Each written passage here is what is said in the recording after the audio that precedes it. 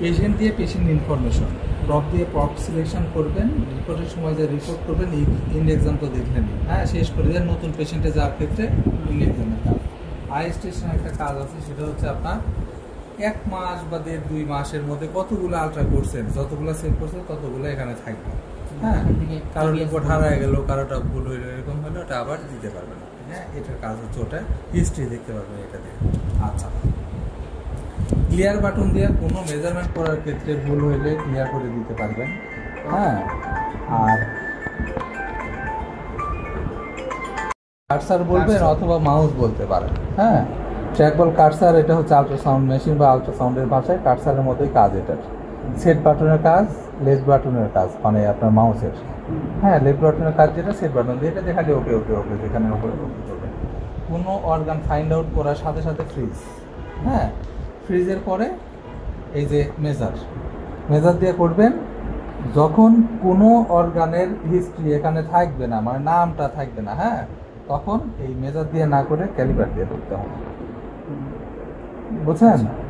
প্রেগন্যান্সির ক্ষেত্রে তো কি প্রেগন্যান্সি এখানে লেখা থাকবে না তখন কি করবেন? তখন ক্যালিপার দিয়ে মেজার করবেন। হ্যাঁ যখন কিডনি লিভার এখানে কিন্তু লেখা থাকে সেটা আপনি এটা দিয়ে করে নেবেন। হ্যাঁ কিডনি করার ক্ষেত্রে এখানে left kidney right right kidney left kidney এভাবে লেখা থাকবে। ওইভাবে আপনি ইয়ে করে দিয়ে সেট করে দিয়ে দিয়ে করতে পারবেন। কিন্তু যখন ওই ধরনের অপশন পাবেন না, তখন ক্যালিপার দিয়ে করবেন।